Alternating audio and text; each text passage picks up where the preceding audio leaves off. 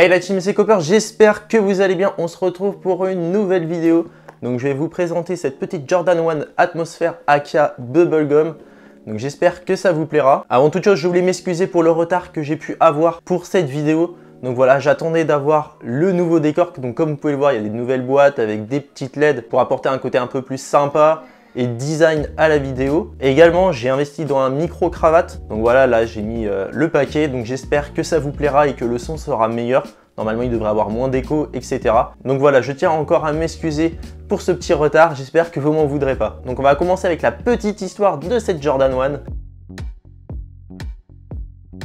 Donc comme vous le savez, la plupart du temps, la marque Jordan et Nike s'inspirent du moindre fait et geste fait Michael Jordan durant sa carrière. Voilà, pour euh, s'inspirer euh, de nouveaux coloris et essayer de trouver des cohérences entre les nouveaux coloris qui sortent et l'histoire que Michael Jordan a eu avec la Jordan 1 ou bien avec d'autres paires. Tout d'abord, il faut savoir que Michael Jordan a eu sa propre marque de chewing-gum donc qui s'appelait Hangtime, ce qui veut dire bien évidemment temps mort pour ceux qui sont pas trop chauds en anglais. Je vous fais la traduction, voilà, ça c'est dit. Et donc, euh, cette marque Hangtime, voilà, elle n'a pas eu un très fort succès. C'est peut-être l'un des seuls échecs qu'a eu Michael Jordan durant sa carrière. On sait tous que c'est l'un des plus grands, voire le plus grand joueur de basketball de tous les temps. Et d'ailleurs, durant sa carrière, on a pu voir Michael Jordan mâcher souvent des chewing-gums.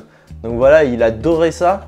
Je crois bien que son goût préféré était pastèque. Je suis pas sûr, mais euh, normalement, je crois que c'est ça.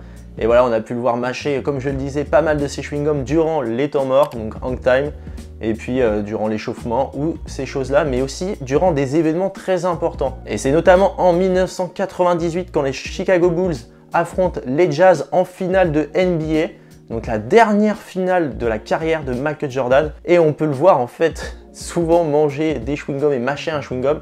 D'ailleurs, je vais vous mettre un extrait tout de suite de lorsqu'il mâche le chewing-gum. Jordan before he goes to the free throw line to try to knock down two. At the line, he's 10 of 13. From the floor, he's 13 of 33. Well, in this fourth quarter, Michael is only two. Donc comme vous avez pu le voir, j'ai pris un extrait du match et quand la caméra est focus sur lui, on voit bien, on voit pas le chewing-gum, mais on voit bien qu'il mâche quelque chose. Et bien évidemment, c'était bien un chewing-gum. Et petit aparté, c'est d'ailleurs durant cette dernière rencontre de Michael Jordan qu'il effectua le last shot donnant la victoire aux Chicago Bulls et le dernier titre de sa carrière. Donc pas des moindres. Et franchement, un match hyper important. Si vous ne l'avez jamais vu, je vous conseille de le regarder.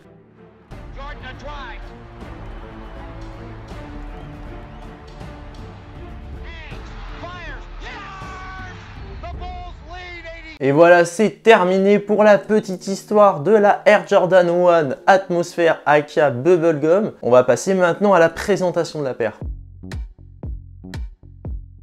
Et hop, j'attrape la box de cette Jordan 1 Atmosphère. Donc, voilà, je vous la présente. Elle est munie voilà, d'un coloris bleu marine, en fait le coloris Obsidian des Jordan 1, avec un petit Nike avec le souche d'un rose pâle crème, donc très joli. Voilà, de ce côté-là, on a voilà, le, sizing et tout. Celle-ci, c'est une 37,5, vous allez voir, c'est une petite paire. À la base, c'était pour ma copine, mais bon, elle l'aime pas, donc euh, je la hold. Pour ceux qui savent pas ce que ça veut dire, ça veut dire je vais la garder coffrée bien au frais pendant 3-4 mois peut-être. Et puis je la revendrai, et puis comme ça, elle va prendre un peu de valeur. Parce que c'est vrai que si vous revendez les paires directement, vous allez perdre de la valeur. Des fois, il faut attendre un petit peu. Surtout pour ce type de paire qui est un peu plus, euh, je pense, estival, avec un coloris un peu euh, qui pète. Donc voilà, on va la coffrer un petit peu et puis on verra ce que ça donne. Donc pour la suite de la box, on a ici du coup le Nike, le souche, ici également, ici et en dessous pas grand chose. Donc c'est une boîte assez simple mais franchement qui reprend les coloris de la paire et ça on adore. Mais comme je le sais très bien, ce qui vous intéresse le plus, c'est ce qu'il y a à l'intérieur. Donc on va ouvrir la box immédiatement. Donc on se retrouve déjà avec un papier de soie. Alors comme vous pouvez le voir, Jordan, avec voilà franchement une, calligraphie que je trouve très sympa et qui fait un peu en fait finalement girly. Et c'est pour ça, je vous dirai après mon avis, mais pour moi la paire euh, fait plus fille que mec. Enfin clairement en tant que mec je ne porterai pas cette paire. Je vous explique après pourquoi. Et voici la bête, franchement une très jolie Jordan 1. Alors je vais en prendre qu'une pour vous la présenter, ça sera plus simple. Donc tout d'abord, on se retrouve avec une outsole rose. Donc un rose pâle, très belle paire. Et d'ailleurs, vous pourrez notifier la petite tache rose.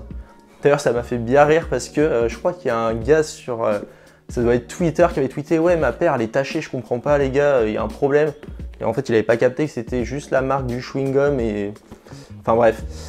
Assez drôle à, voir, mais en tout cas, voilà. La petite tache rose pour rappeler le côté chewing-gum. Donc franchement, c'est très bien joué de leur part. C'est Pour le coup, euh, c'est un, petit clin d'œil au chewing-gum qui est très simple, mais au final, euh, fallait le trouver. On a ensuite une midsole blanche. Donc franchement, le blanc, je trouve qu'il ressort très bien sur la paire. Ils ont fait un beau matching coloris. Donc là, on a le petit porte-clés, voilà, rose, comme d'habitude. Hop, donc ça, je vais le mettre à l'intérieur pour que vous voyez mieux la paire. Donc, pour le upper, on est avec un cuir blanc, donc un cuir grainé, et je ne sais pas si vous allez pouvoir le voir, mais il est de très bonne qualité, très bonne manufacture. Après, pour rappeler, elle est à 170 euros prix retail, donc à ce prix-là, j'espère quand même que le cuir est de bonne qualité, c'est la moindre des choses. Ensuite, on a aussi des empiècements sur la toe box et également sur le heel tab en haut, donc, euh, et également ici les, lacets. Donc un bleu marine, donc le coloris obsidian comme je vous le disais. Euh, également, on a du coup du cuir, voilà, surtout sur le heel tab et sur la toe box, on a un cuir verni rose. Donc c'est pour cette raison que je la conseillerais pas aux garçons. Alors chacun ses goûts, s'il y a des garçons qui sont prêts à porter ça, franchement, bah, il n'y a pas de souci. Mais c'est vrai que moi, je suis pas très pour euh, tout ce qui est, en fait, euh, bah, par exemple, la Jordan 1 Patent Bread. Euh, pourtant, c'est un coloris qui fait bien mec et j'aime pas la paire parce que ça brille trop, c'est pas mon style. Mais là, en plus, avec du rose brillant, je trouve ça fait très girly. Pour une fille, c'est magnifique. Pour un mec, j'adhère un peu moins. Mais de toute façon, au moins, vous pourrez le voir parce que c'est vrai que sur les photos, des fois, on se rendait pas compte que ça brillait autant. Et je pense qu'il y a des mecs qui pourraient être surpris à quel point la paire brille finalement. Je vais vous faire montrer la paire de près, comme ça vous allez bien voir en plus avec la lumière comment elle brille. Donc ah, voilà, c'est quand même une paire de très bonne qualité. Donc là voilà, on voit le Wings logo, donc qui ressort bien. On a aussi là le petit Nike Air. Donc franchement avec la, languette qui est quand même bien épaisse, franchement euh, très bien. On a aussi du coup des lacets fournis avec de base qui sont bleu marine. Donc comme vous pouvez le voir, voilà. Donc franchement, là, c'est bleu marine, je suis pas très fan parce que la languette est déjà bleu marine. Ça fait beaucoup de bleu. Donc je vais vous montrer tout de suite sur l'autre paire les lacets fournis et lesquels je mettrai du coup. Donc comme je vous l'ai dit, sur l'autre paire, on a deux paires de lacets fournis avec. Donc ça fait toujours plaisir d'avoir des lacets supplémentaires.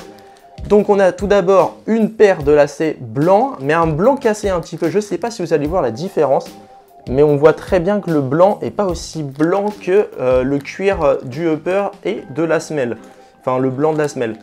Et ensuite, une paire de lacets roses. Pour moi, la préférence irait vers les lacets blancs, pour que ça, soit mec ou fille. Euh, franchement, lacets blancs, là, ça, je pense que ça pète bien. Après, euh, si vous voulez un truc bien girly, je pense les lacets roses, bah, du coup, ça fait carrément l'affaire. Ça rappelle le upper et les empiècements sur le tab.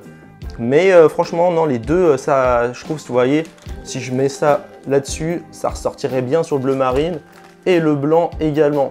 Alors que si on avait fait euh, voilà, des lacets bleu marine, bah, vous voyez, ton sur ton, hein, je suis pas vraiment très fan de ce genre de choses. Donc voilà, je pense vous avoir fait le tour de cette paire, donc c'est une très belle paire quand même.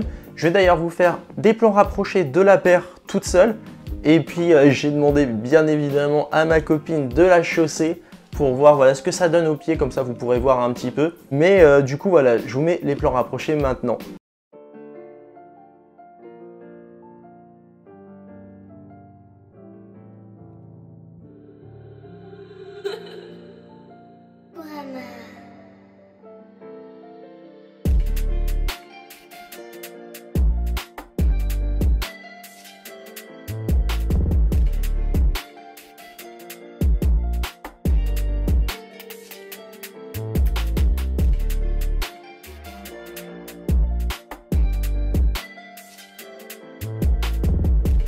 Et voilà, c'est terminé pour les plans rapprochés. On enchaîne du coup avec les plans rapprochés mais portés cette fois-ci. J'espère que vous allez kiffer.